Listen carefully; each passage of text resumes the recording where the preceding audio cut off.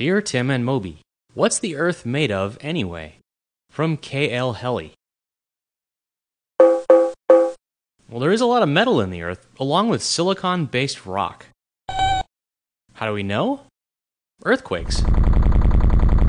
Like any other waves, earthquake waves bend when they travel through different materials.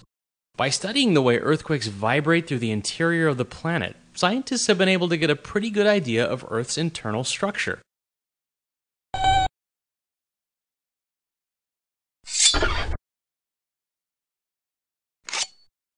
Yikes. The Earth has three basic layers the core, the mantle, and the crust.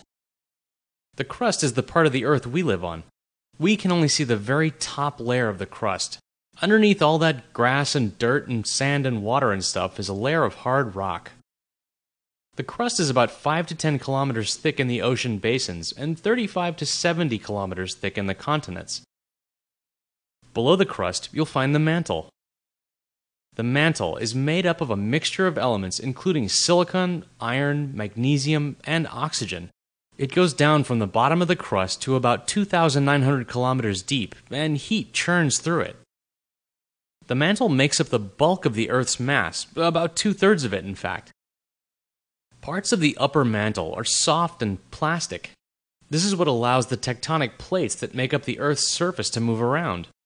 The lower mantle is solid and extremely hot. At the very center of the Earth, you'll find the core. The outer core is Earth's only totally liquid layer. It's about 2,300 kilometers thick and made of molten iron and nickel. The pressure from all those other layers pushing down creates a solid ball in the very center of Earth called the inner core. It's made of mostly iron and it can be found somewhere around 5,100 kilometers below the surface. The inner core floats in the outer core and spins at a different rate than the rest of the planet. This, along with the convection currents in the mantle, is probably what causes Earth's magnetic field. Well, nobody knows this stuff for sure. The deepest hole ever drilled was only about 12 kilometers deep. That's only a tiny fraction of the 6,355 kilometers to the center of the Earth. Okay, but I'm telling you, it's going to take a long time to get to the core.